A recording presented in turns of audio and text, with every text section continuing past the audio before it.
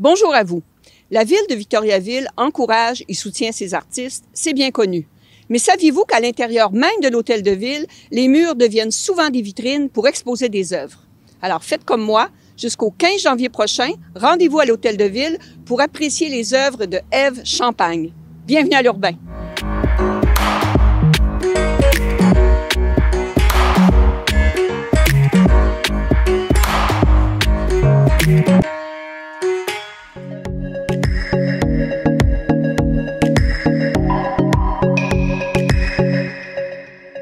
Champagne, on s'est donné rendez-vous ici à l'Hôtel de Ville parce que plusieurs de vos œuvres y sont exposées. Oui.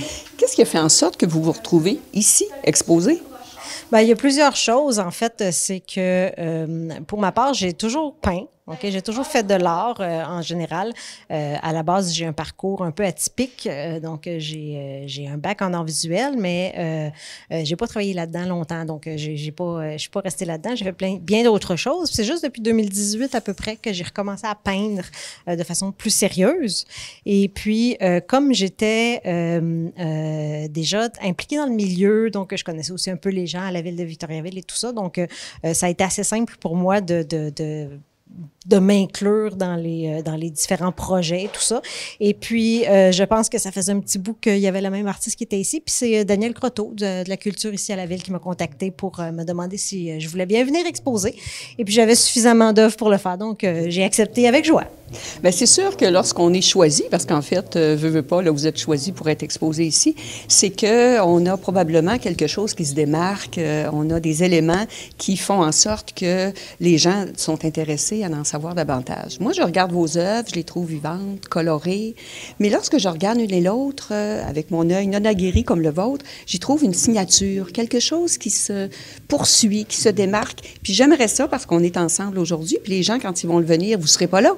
Alors expliquez votre démarche artistique, vos intentions et tout ce qui s'ensuit. Oui, ben merci de dire que c'est euh, euh, que vous reconnaissez ma signature parce que c'est toujours un, beau compliment ça pour une artiste de se faire dire qu'on reconnaît nos, euh, nos, tableaux même quand on n'est pas là puis qu'on n'a pas vu le nom encore. Donc ça fait quelques fois que je l'entends puis vraiment ça fait ça, ça, me fait beaucoup plaisir. et puis oui, moi je travaille beaucoup dans la couleur, donc évidemment c'est très coloré. mais ceux qui me connaissent se, se, se demandent pas pourquoi, ça fait partie de ma personnalité. Mais autre que ça, moi c'est les mots qui m'intéressent qui m'inspire euh, particulièrement mes œuvres. Donc, je pars souvent de mots, de phrases, de choses que j'ai entendues. Euh, j'ai toujours avec moi un petit calepin ou ce que je note quand j'entends ou que je lis quelque chose qui m'intéresse. Donc, je pars de ça. Euh, c'est souvent ce qui va donner le ton ou un peu l'intention que je veux mettre derrière une, une, une toile.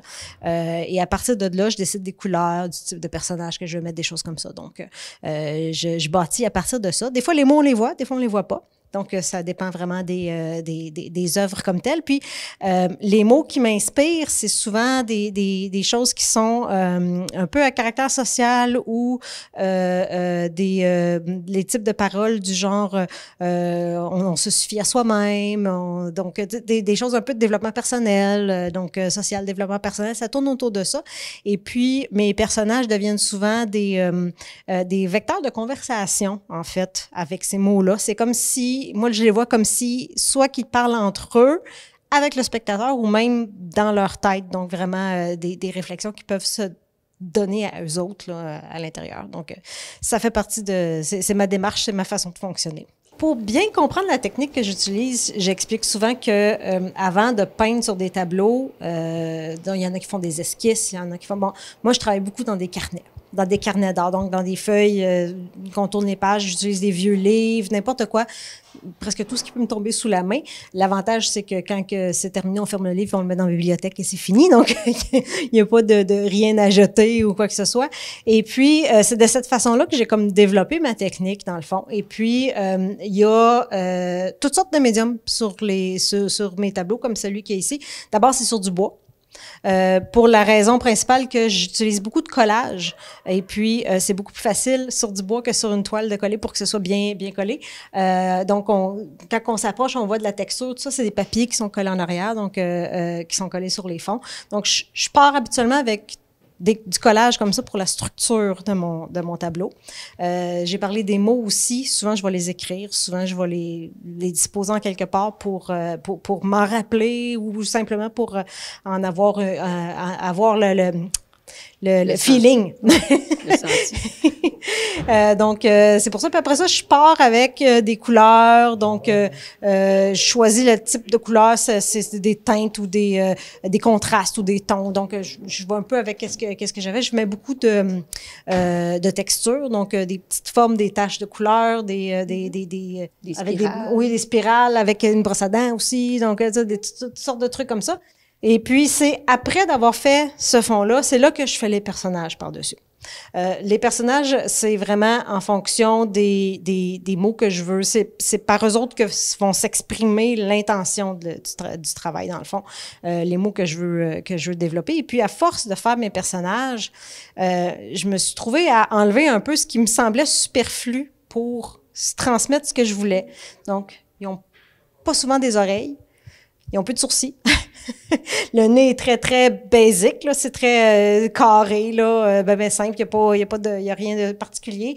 Euh, sont faits un peu à façon, euh, un peu cartoon. donc, c'est pas, c'est, c'est pas des, des, des réalistes. les yeux sont grands. Les deux éléments les plus importants, c'est les yeux et la bouche. Puis souvent, les gens me demandent pourquoi est-ce que les lèvres sont grosses comme ça. Ben moi, je l'interprète souvent comme les, ils ont quelque chose à dire, mais ils sortiennent. Donc, ça, ça voudrait bien sortir, mais ça peut pas. Donc euh, voilà. Et l'expression, ben, dans les yeux, c'est souvent ça. Puis là, après ça, ben, je rajoute euh, des détails en fonction de ce que je voudrais exprimer. Euh, comme ici, c'est une toile qui m'est particulièrement chère parce que ça traite du cancer du sein. Et puis au moment où j'avais fait la, la, la où j'ai fait la toile, il y a quelqu'un que je connaissais qui a été euh, que, que j'ai appris qu'il était atteint du cancer du sein.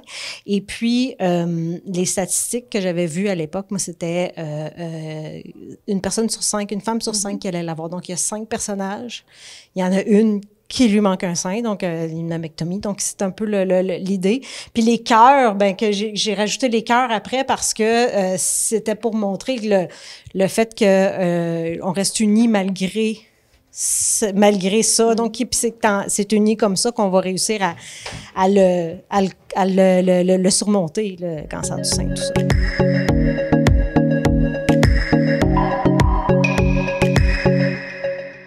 Votre quotidien, vous avez évidemment votre engagement artistique, mais vous avez dans votre travail un engagement social parce que vous travaillez avec les femmes qui sont en parcours euh, d'emploi.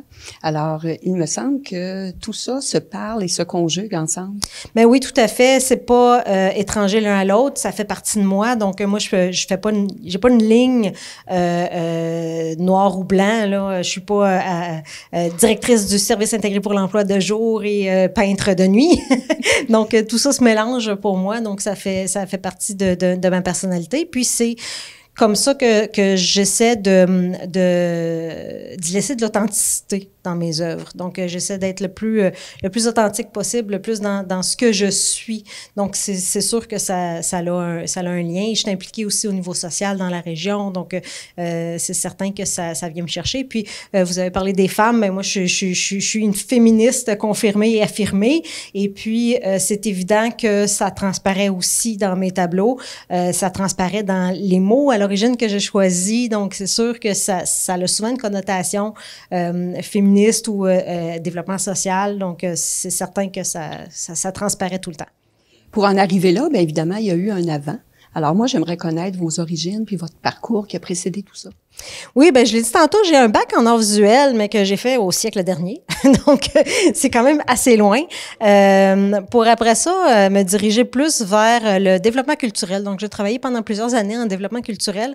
Euh, pour finir, quand je suis arrivée à Victoriaville, je suis justement allée travailler à la télévision communautaire. Et puis, euh, là, je me suis lancée plus dans, les, dans, dans des principes de gestion, donc de direction de gestion. Mais le côté créatif a toujours été là, puis je pense que les deux ne sont pas non plus contradictoires. Euh, et puis j'avais toujours continué à peindre, à dessiner, à faire toutes sortes de choses. Bon, j'avais j'ai des enfants, j'ai fait du bricolage, j'ai fait des gâteaux décoratifs, des choses comme ça. Donc, pour mon plaisir. Et puis, euh, les enfants qui grandissent, donc j'avais un peu plus de temps. Euh, donc, depuis 2018 que je me suis remis à peindre de façon plus soutenue. Et puis, euh, moi, je pense que l'art, c'est fait pour être vu. Donc, à un certain moment où j'avais l'impression d'avoir atteint une certaine maturité dans ce que je faisais, j'étais satisfaite de mon travail. Donc, j'ai commencé à, à, déposer des candidatures pour être dans des symposiums, dans des expositions, des choses comme ça. Donc, j'ai fait un, un peu de toutes sortes de choses depuis ce temps-là. D'ailleurs, dans les multiples expositions que vous avez faites à date, une, entre autres, euh, se démarque, c'est celle à l'Esther, le Lisard, parce que vous avez eu, pour votre première participation, si je ne m'abuse, oui. le prix du jury oui. Qu'est-ce que ça fait de recevoir tout ça et qu'est-ce qu'on fait avec ça? Mais c'était l'an dernier, donc ma première participation, l'histoire, le jury m'a donné le premier prix et puis euh, c'est une grande fierté d'abord, c'est certain, puis c'est le premier prix que, que, que, je recevais, donc euh, j'étais euh, très très contente et puis euh, en fait quand on est dans les arts visuels pour être reconnu officiellement artiste professionnel ou des choses comme ça, ça prend des distinctions comme ça. Fait moi, ça m'a, c'est venu me, me, me, confirmer que je faisais bien de continuer dans cette voie-là, même si c'est pas nécessairement mon intention d'en faire ma carrière principale, euh, peut-être dans quelques années, là, mais pas pour le moment. Euh, donc, c'est, quand même une certaine forme de consécration. Donc, c'est, oui, c'est très, très plaisant. Cette impulsion-là, je présume, vous amène vers d'autres projets. On peut en savoir plus? Oui, tout à fait. Ben, je, je continue à faire des, des, projets, à essayer d'aller exposer un peu partout. Et puis là, récemment, j'ai été acceptée dans une, une euh, un regroupement d'artistes mondial, donc euh, le Mondial Art Academia, qui est international. Euh, donc, euh, c'est sur sélection. Donc, c'est encore une belle, une belle marque de reconnaissance de ce côté-là. Et puis, je prépare aussi une exposition en solo à la Galerie d'art du Cégep qui va avoir lieu cet hiver, donc tout le mois de mars, si je me souviens bien. Donc, qui va s'appeler Conversation. Et en ce moment-là, ça va être toutes des toiles complètement différentes. Bien, pas complètement différentes, mais nouvelles. Donc, euh, je prépare quelque chose de spécialement pour cette exposition-là. Puis évidemment, il y aura toute la saison des symposiums après qui va, euh, qui va suivre. Alors, une année très occupée. Oui. Et on invite encore les gens à venir ici à l'Hôtel de Ville sur les heures d'ouverture de l'Hôtel de Ville jusqu'au 15 janvier pour apprécier vos œuvres. Et on vient d'apprendre que par la suite, on pourra les apprécier aussi dans la région au cégep. Tout à fait. Vous pouvez aussi venir sur mon site internet euh. Donc, euh, au plaisir, Champagne. Merci.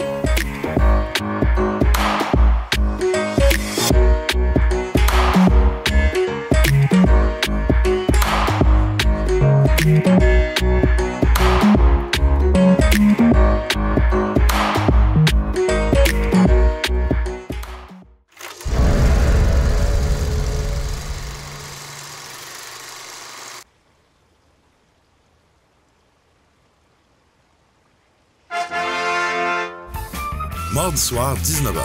Plus de 1500 à gagner. Télébingo, rien d'autre.